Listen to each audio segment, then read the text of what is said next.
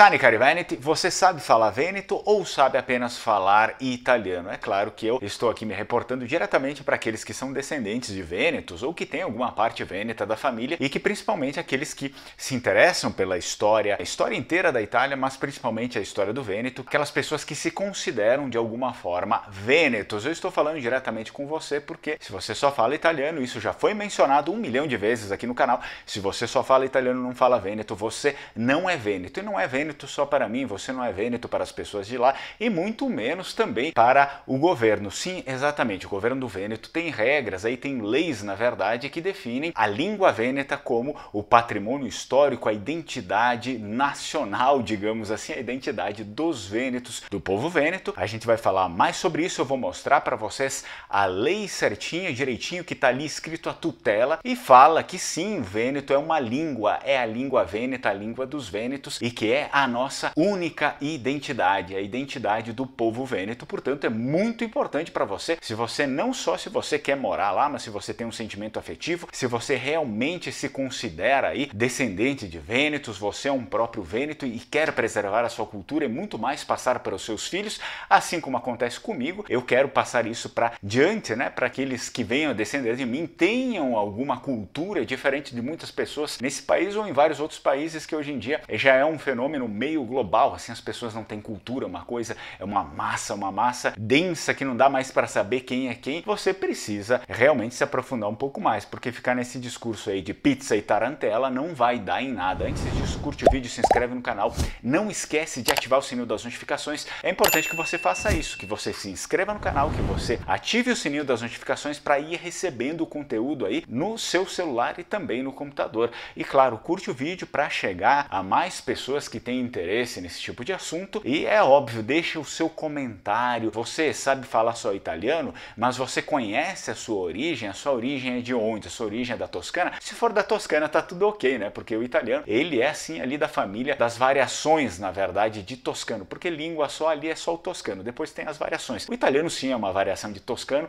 não quer dizer que ele é uma língua separada do toscano, ele tem influências de outras línguas, mas o substrato dele é o toscano. Não pode dizer que é uma língua nova, é o próprio substrato, é diferente, mas é uma variação. Uma variação do toscano que, como muitas outras línguas do mundo, como quase todas, na verdade todas as línguas do mundo, pegou influências de várias outras línguas, alguma coisinha aqui, outra lá, como da própria língua vêneta. Também tem no italiano alguma coisinha ali que ele pegou da língua vêneta e de várias outras línguas. Deixa aí nos comentários, você gostaria de aprender a outra língua, seja o vêneto, sei lá, o lombardo, o siciliano, o calabrês, você gostaria de aprender? Se gostaria de aprender, deixa aqui nos comentários o porquê. E se não gostaria também, deixa nos comentários o porquê você não gostaria de aprender, tá bom? Antes da gente começar o vídeo, eu deixo aí algumas coisas importantes, principalmente para aquelas pessoas que são descendentes de vênetos. Nós temos aqui para vender o Evangelho de São Marcos traduzido em língua vêneta. São Marcos era e é até hoje o patrono dos vênetos e foi o grande patrono da Sereníssima República de Veneza. Sereníssima República de Veneza era a República dos Vênetos, a república que perdurou aí por mais de 1100 anos antes das invasões, né, e depois da anexação dos territórios do Vêneto pelo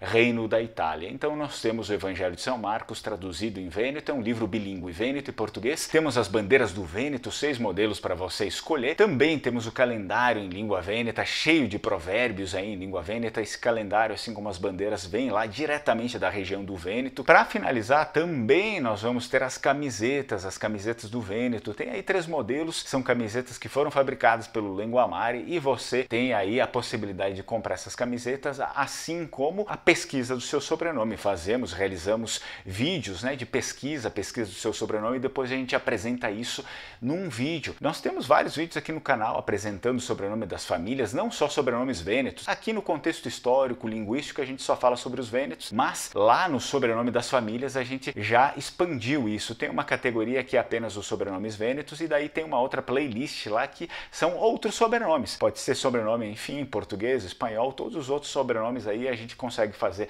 essa pesquisa e apresentar aqui também do seu progenitor, da sua história. E se você quer o reconhecimento da cidadania italiana, mas não só cidadania italiana, de outras cidadanias europeias, então eu indico para você a Alma Cidadania. A Alma Cidadania é uma empresa, uma agência que trabalha aqui pertinho de mim, na Serra Gaúcha, e eles têm um trabalho super sério, já atenderam várias pessoas, estão aí atendendo muitas pessoas que são meus alunos ou pessoas que me seguem aqui no canal. Alma Cidadania faz um trabalho muito bom, belíssimo. Se você tiver alguma dificuldade, de repente, de achar o contato deles, pode escrever direto para mim, eu deixo o meu número aqui na tela e aí eu já faço aí, indico eles, já passo o contato e facilito a sua vida. Muito bem, vamos lá? Eu vou apresentar para vocês aqui a lei que define o Vêneto lá na região do Vêneto como língua, língua vêneta, língua histórica e que muito mais do que definir a língua como identidade, define ela como o bastião da autonomia da região do Vêneto, a autonomia dos vênetos. A gente vai ler um pouquinho como está a lei lá escrita no documento em italiano, a gente também traduz para o Vêneto para vocês verem como funciona o italiano e o Vêneto, até mesmo para tirar aquelas dúvidas né, de pessoas que, ah, mas é a mesma língua, ou é um dialeto, ou é isso, ou é aquilo. Não, o Vêneto não é dialeto, o Vêneto é uma outra língua que veio antes do italiano, ou seja, o Vêneto é uma outra língua, merece respeito, você não pode ficar chamando de dialeto, porque, como está escrito aqui na própria lei, não é um dialeto, é a língua, a língua do povo vêneto. E aí eu também faço a nossa tradução em português para que você, além de é, ter o conhecimento do que está escrito, você também acaba conhecendo um pouco como funciona a lei e querendo ou não, né, as diretrizes para a gente parar de falar algumas besteiras, porque nem todos, né, mas tem pessoas aí que ficam falando umas besteiras aqui, acolá, principalmente aqui no canal, vem, ah, isso aí não é língua, isso aí é não sei o que, um dialeto, é isso, é aquilo, e no final elas nem sabem, elas muito menos, às vezes elas sabem muito mal e porcamente falar o próprio italiano, e quem dirá o Vêneto, ouviram uma coisinha, uma outra lá, uma pessoa, um ignorante falando que era dialeto, então elas compram esse discurso e vomitam esse discurso para tudo que que é lado e elas não sabem falar nada em Vêneto, nunca estudaram e por conta disso também desconhecem aí o nosso patrimônio cultural e linguístico. Tutela, valorizzazione e promozione del patrimonio linguistico e culturale veneto. Vamos lá para o Vêneto, como fica isso? Proteção, importo e esparpanhar da reita linguística e cultural veneta. Proteção, valorização e promoção do patrimônio linguístico e cultural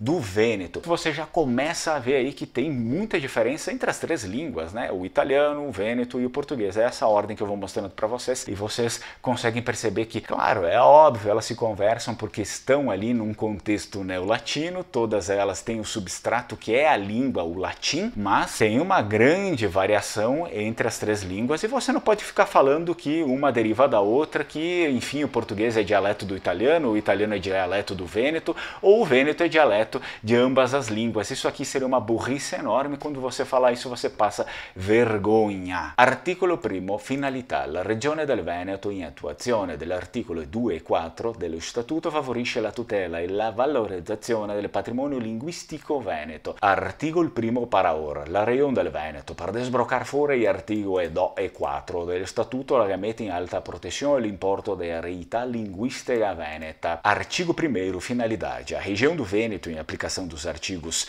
2 e 4 ou 2 e 4 do Estatuto Estatuto promove a proteção e a valorização do patrimônio linguístico. E aqui também a gente já começa a ver bastante diferença, principalmente etimológica, palavras que vão mudando uma da outra. Articolo secondo, lingua veneta. Le specifiche parlate storicamente utilizzate nel territorio veneto e nei luoghi in cui esse sono state mantenute da comunità che hanno conservato in modo rilevante la medesima matrice costituiscono il veneto o lingua veneta veneta. Articolo secondo, lingua veneta. Il gran muccio del proprio descorrere storicamente do parà in tel terreno veneto e in tei posti dove che si sta tenesto in su da comunità che le loga in bramio destra massimo sesto l'espotego fontego il che fa suso il veneto o lingua veneta. Artigo segundo, lingua veneta. As palavras específicas faladas historicamente utilizadas no território vêneto e nos locais onde foram mantidas por comunidades que preservaram significativamente a mesma matriz constituem o vêneto ou língua vêneta. E aí vocês já conseguem ver que está no próprio estatuto aqui falando que o vêneto é uma língua, língua vêneta. Isso aqui é o Conselho Regional do Governo do Vêneto. Ou seja, se você vem aqui e discute isso no canal, é preciso que você também discuta isso com o próprio governo lá do Vêneto e entrar de repente com uma ação contra o governo do Vêneto para eles retirarem, para eles mudarem esse conceito. La Regione del Veneto considera la tutela, la valorizzazione la promozione del patrimonio linguistico e culturale veneto una questione centrale per lo sviluppo dell'autonomia regionale. La Région del Veneto a soutient le PCR che a protezione importa e sparpagnar fuori della realtà linguistica e culturale veneta, la recipia una gran vedea questione per la crescita da autonomia regional. A região do Vêneto considera proteção, valorização e promoção do patrimônio linguístico e cultural vêneto uma questão central para o desenvolvimento da autonomia regional. Não adianta vocês quererem ser autônomos, vocês quererem liberdade ou vocês quererem uma prosperidade maior aqui com a própria autonomia, que é algo legal lá e na verdade o Vêneto conseguiu a sua autonomia, a sua autonomia já está aprovado no Senado, mas não adianta você querer tudo isso se você não tem a sua própria base cultural, você não vive disso. É como dizia minha mãe, saco vazio não para em pé. É preciso que tenha alguma coisa ali para você se manter. Aquela coisa que mantém você é a sua cultura. A gente já vai passar direto pro artigo 5 porque os outros artigos falam sobre assuntos muito abertos. Articolo 5 Festa del Popolo Veneto al fine di favorire la conoscenza della storia del Veneto, di valorizzarne l'originale patrimonio linguistico, di illustrarne i valori di cultura, di costumi e di civismo nel loro radicamento e nella loro prospettiva, nonché di far conoscere adeguatamente lo statuto e i simboli della regione, è istituita la festa del popolo veneto. Essa ricorre il 25 marzo, giorno della fondazione di Venezia. Articolo 5 Gansega del popolo veneto. In sesto di sparpagnarghe nel sapere di storia del Veneto, di tirarghe fuori il paicario importo ed eredità linguistica e di scrensarne l'importo di cultura, di uso, di coluchis e CV, in te il suo radise, in te il suo prospetto, giusto per buttare proprio in vista il statuto, i simboli della regione, la se dà fuori la Gansega del popolo veneto. La ne viene suso il 25 marzo, il dia della fondazione da Venezia. Artigo 5 Festa do Povo Vêneto, com o objetivo de promover o conhecimento da história do Vêneto, de valorizar o seu patrimônio linguístico original, de ilustrar os seus valores de cultura, costumes e cidadania nas suas raízes e nas suas perspectivas, bem como para divulgar adequadamente o estatuto e os símbolos da região, é instituída a Festa do Povo Vêneto. Ocorre no dia 25 de março, dia da fundação de Veneza. E aí nós temos também a nossa festa, vocês podem ver, a festa que foi dedicada ao povo vêneto e obviamente também para valorizar a língua vêneta acima de tudo. La Giunta regionale stabilisce annualmente gli interventi diretti a realizzare e ad illustrare tali finalità, in particolare fra le giovani generazioni d'intesa con i competenti organi dello Stato nelle scuole di ogni ordine e grado. E il Consiglio regionale di Riuiani, il che arrangia sui fisi interventi volti a sbloccare e scrensarne i paraori, in particolare tra i giovani generazioni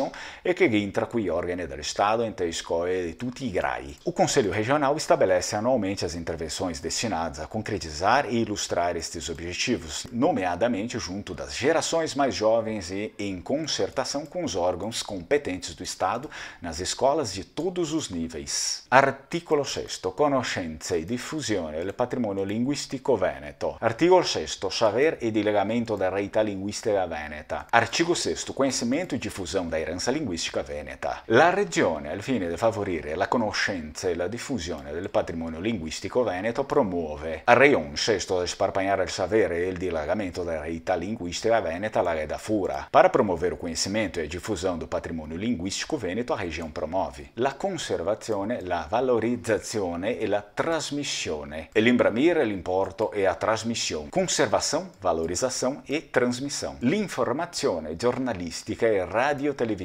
La informazione gazettinistica e radiotelevisiva. Informação jornalistica e radiotelevisiva. La creazione artistica. Il crea artistico. Criação artistica. L'edizione e la diffusione di libri pubblicazioni. La tiratura e il dilagamento di libri e pubblicazioni. A edição e divulgação de livros e publicações. L'organizzazione di specifiche sezioni nelle biblioteche pubbliche di enti locali o di interesse locale. E l'ingaggiamento di sessioni proprie rente biblioteche pubbliche di enti locali o di interesse locali. A organização de sessões específicas em bibliotecas públicas de autarquias ou de interesse local. La ricerca, il sfrugnamento, pesquisa, lo svolgimento di attività e incontri finalizzati a promuovere l'uso e la conoscenza dell'originale patrimonio linguistico veneto, e il desbroccamento delle attività imbattute, desbloccate tocar esparpanhar il dopero e il saber de apaicar a reita linguística veneta. A realização de atividades e reuniões destinadas a promover a utilização e o conhecimento do patrimônio linguístico veneto original. La Regione promuove inoltre, d'intesa con le emittenti pubbliche e private, l'attuazione di trasmissioni culturali e di informazioni in lingua veneta di accertata valenza culturale. La Regione la mette su orsuso d'incordo con l'evro slancio pubblico e privato e l'impianto di trasmissione culturale e di informazioni in lingua veneta di diritto maior cultural. A região também promove, em acordo com as emissoras públicas e privadas, a implementação de emissões culturais e informativas na língua veneta e de comprovado valor cultural. I comuni e i loro consorzi, le comunità montane, enti, istituti e associazioni che attuano programmi o singole iniziative finalizzati a tali obiettivi possono presentare domande di contributo secondo le modalità previste dall'articolo 12. I comuni e i suoi consorzi e comunità montagnere, enti, istituti e associazioni che le ritira su programmi o iniziative ognule che le tiene in mente sti voeri e può presentare domande di luminaria dirigiste prevedeste da l'articolo 12. Os municípios e seus consórcios, as comunidades serranas, os organismos, institutos e associações que implementem programas ou iniciativas individuais que visem esses objetivos podem apresentar pedido de contribuição de acordo com os procedimentos previstos no artigo 12. E agora eu também passo para o final apenas mais um artigo, porque tem vários outros, mas os que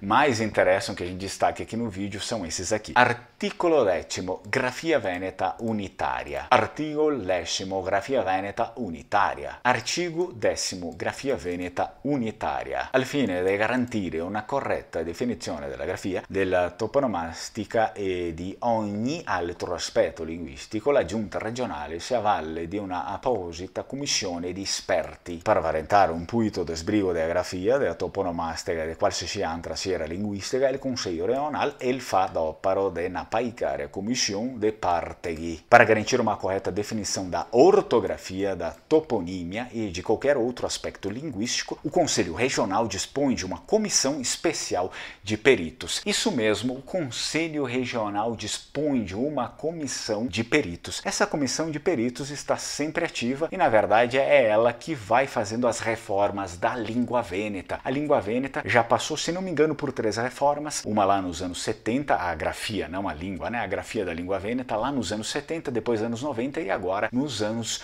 2000. Foi aprovada a nova grafia da língua vêneta em 2017. Essa nova grafia já está circulando, está aí se produzindo os dicionários com a nova grafia e também os cursos com a nova grafia. E, na verdade, o curso de língua vêneta que eu leciono é justamente o curso aí autorizado com a grafia oficial aprovada pelos peritos. Então, se você tem interesse em aprender língua vêneta, não deixe de aprender, porque eu nem sempre vou estar aqui, né? Para aprender italiano, você tem um milhão de escolas de italianos por aí, língua vêneta apenas comigo. Então, já aproveita e faz o curso de língua vêneta. Eu sempre deixo aqui no link aqui embaixo na descrição do vídeo. É importante, né? É importante para você preservar a sua cultura acima de tudo. A preservação da sua cultura é muito importante. Então, para aqueles que dizem, né, que o vêneto não é língua, não é nada, não é isso nem aquilo, vão ter que brigar não comigo, mas com o pessoal lá, o governo do Vêneto e com todas as pessoas que fazem parte do Conselho Regional do Vêneto. E lembre-se, é importante que você fale Vêneto, porque o que te faz Vêneto é falar Vêneto e não italiano. Fale Vêneto. É óbvio, se você quiser, você aprendeu, quiser aprender italiano, não tem problema nenhum, mas é importante você saber Vêneto